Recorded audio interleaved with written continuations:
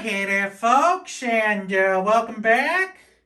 I guess. Well, it's fall once again, and what better way to celebrate fall than getting blitzed on hard apple cider sausages, just like Grandma used to do. But before we get into into the sausaging, old Choppy ain't what it used to be. We gotta we gotta we gotta sharpen this knife.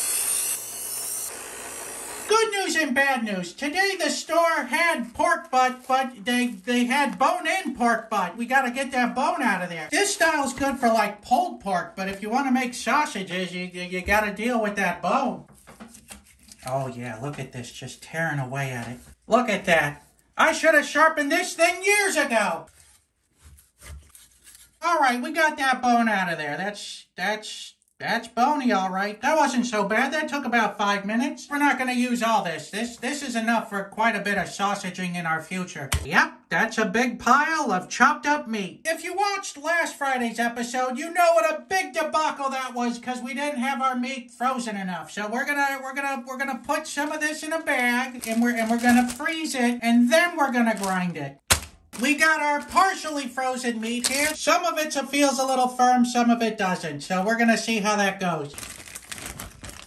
Yeah, there's a log of meat. It appears we could have used a little bit more time in the freezer, but it was in there for like an hour. God, it looks like Brain from the Teenage Mutant Ninja Turtles. This is this is totally getting a regrind, by the way. Oh, freaking come on now. And back in the grinder you're going. Who knows what horrible shape will come out of there now? This is like bad idea to worse idea. Partially frozen's not good enough. Well, shucks, you know, you win some, you lose some, people. Just gonna segue right into this part. Well, of course it's gonna be soaked in this Angry Orchard stuff, but we're also gonna boil it in it. Let me show you a trick I learned in the Sausage Marines. How about that?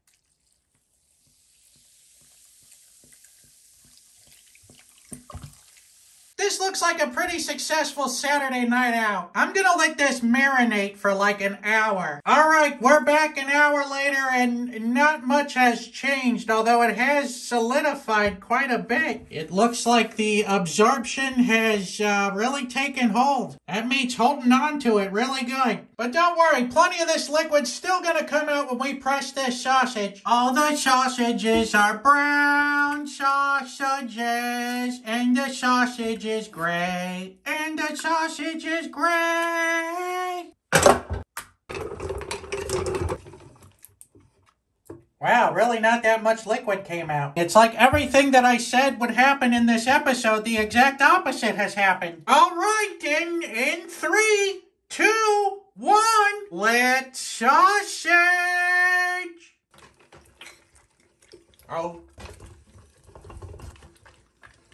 And, I, and that's it. That's all the casing I got. This has been a very wet experience. Seven sausages out of that. I'm gonna poke half of them and see if the other half blows up. With special thanks to today's Mark Boxallo box artist, this guy. Look at that. Look how look how great he looks. So will it blow? Oh, yes, right in the eye. I'd also surrounded the box pretty good. So I'm gonna have to give that Will It Blow five Mark Ruffalos. It's no time like the present to get this party started. And one more. These probably would have unraveled by themselves, so I went ahead and tied some butcher's twine around each one. Ah, uh, well, all right, uh, here we go. Well, things are things are coming along, I guess. Well, it, it looks like we got one or two bursts in there. And now we just gotta hope that the whole thing doesn't burst when we take it out. Ow. Ah, uh, well, results are inconclusive. These must be the four that I didn't poke. And of course, the skin isn't crispy, but we, you know we have a cure for that.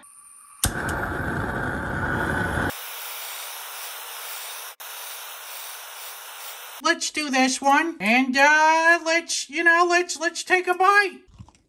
It's not it's not really bad at all. It's it's um it ha it has a little bit of, of, of apple cider taste to it. it. It doesn't have that strong alcohol flavor to it like the tequila sausage and the um and the sangria sausage. It's it, it's pretty it's pretty good. Remember, we, we only flavored this with the with the with the hard cider. There was no salt or pepper or anything. The skin does crisp up when we hit it with the flamethrower, so that's great news. I'm gonna have to give these sausages here a three out of five.